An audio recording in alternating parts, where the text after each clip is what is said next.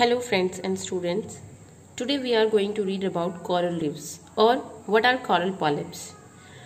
समंदर के अंदर बेसिकली क्या होता है? कुछ बहुत ही छोटे से, बहुत टाइनी से माइक्रो ऑर्गेनिजम्स होते हैं। बहुत छोटे छोटे और ये जो टाइनी माइक्रो ऑर्गेनिजम्स होते हैं, ये हज़ारों, लाखों की संख्याओं में एक दूसरे के साथ रहते हैं। इट मीन्स ये रहते हैं ग्रुप्स में।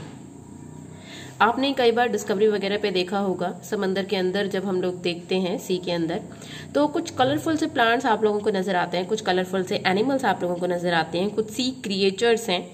तो ये जो है, ये ही टाइनी माइक्रो ऑर्गेनिजम्स जो हैं, उन्हीं से मिलके बनता है हमारा कॉरल रीव्स बेसिकली क्या है? कॉरल क्या है? कॉरल तो एक माइक्रो ऑर्गेनिज्म है, एक ऑर्गेनिज्म जो सी में पाया जाता है, और रीफ का मतलब होता है रॉक यानी कि कोई भी बड़ी सी चट्टान, यानी कि वो एरिया जो पानी से ऊपर आपको उठा हुआ दिखता है, वो सारे का सारा हमारा कॉरल रीव्स या कॉरल पॉलिप्स पॉलिप्स क्यों है?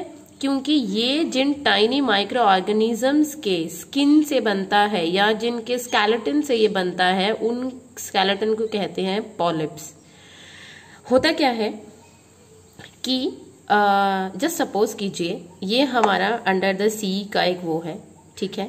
और यहाँ पे कलरफुल से कुछ प्लांट या कुछ माइक्रो ऑर्गेनिजम्स छोटे मोटे ठीक है? और जैसे कछुआ होता है कछुए के जो ऊपर की शेल होती है हमारी बहुत हार्ड होती है वो बनी होती है कैल्शियम बाइकार्बोनेट की ठीक है? तो ये जो कैल्शियम बाइकार्बोनेट होता है होता क्या है? आ, ये जितने भी माइक्रो ऑर्गेनिजम्स होते हैं ये सभी के सभी पानी के अंदर कार्बन डाइऑक्साइड के लेवल को एब्जॉर्ब करते हैं। इसीलिए कॉरल रीफ्स बहुत इंपॉर्टेंट माने जाते हैं। ये उनको एब्जर्व करते हैं और सीक्रीट करते हैं कैल्शियम बाइकार्बोनेट और ये क्या होता है? सपोज़ कीजिए ये आ, एक माइक्रो ऑर्गेनिज्म है वो डेड हो गया मर गया तो वो जाके नीचे जो हमारी एक सी लेवल का एक है वहाँ पे जाके ये बैठ जाता है। क्योंकि ये काफ़ी हार्ड होती हैं तो ये लाइट नहीं होती हैं जो ऊपर आएँगे पानी के तो नीचे। और इनकी प्रॉपर्टी क्या होती है? जैसे ही एक मरता है, उसी के ऊपर में दूसरा माइक्रो ऑर्गेनिज्म जो है वो बर्थ ले लेता है। फिर ये मरेगा, फिर ये यहीं पे होगा। फिर जब कोई ये वो तीसरा है, इसके ऊपर बर्थ लेगा। फिर कोई मरेगा, यानी कि मरना और दोबारा से बर्थ लेने का ये प्रोसेस जो है, ये चलता रहेगा और एक टाइम आएगा। पहले तो ये पानी के अंदर एक एरिया है जो उड़ जाएगा, एक रीफ जैसा। बहुत क्योंकि और टाइम के साथ साथ ये कैसा होता जाता है, बहुत ही हार्ड होता जाता है। क्यों? क्योंकि कैल्शियम बाइकार्बोनेट की वजह से। और जब ये हमारा एरिया पानी के ऊपर हम लोगों को नज़र आता है तो इसको हम लोग आइलैंड कह देते हैं और ये जो चट्टान जैसा ये बनता है, यही होते हैं हमारे कॉरल रीफ्स कॉरल रीफ्स अक्सर हर सी में देखने को मिलते हैं, फिर भी इनके लिए दो तीन कंडीशंस है जो रिक्वायर होती हैं.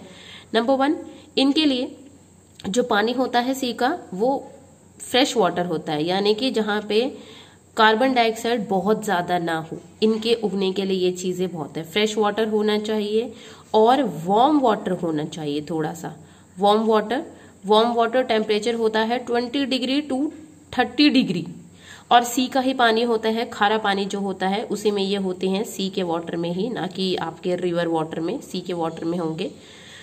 और ये हमेशा ग्रुप में रहते हैं मतलब हज़ारों, लाखों की संख्याओं में। और इनका जो एक साइज़ होता है माइक्रो ऑर्गेनिज्म का जस्ट कुछ सेंटीमीटर से लेके, कुछ सेंटीमीटर से लेके और कुछ मतलब पचास या सौ, इतने सेंटीमीटर तक के जो हमारे ऑर्गेनिज्म है, वो सारे के सारे जो है, ये कॉरल रीफ्स में आती हैं। तो कॉरल रीफ्स आपका यही है, यानी कि पानी के अंदर कुछ माइक्रो ऑर्गेनिजम्स जो होते हैं, कुछ टाइनी से, बहुत छोटे से, जब वो मरते हैं उन्हीं के जो डेड स्किन होती है, उसके ऊपर फिर दूसरा कॉरल बनेगा। उसके फिर वो भी मतलब ये ना, जब मरते हैं तो एक दूसरे के साथ स्टिक रहते हैं। एक दूसरे के साथ दूर दूर स्कैटर नहीं होती हैं। तो इस वजह से एक टाइम आता है, बहुत से थाउज़ेंड ऑफ़ ईयर्स के बाद, जब ये एरिया जो है, ये ऊपर उठ के आ जाता है और इन्हीं को हम लोग कहते हैं कॉरल रीफ्स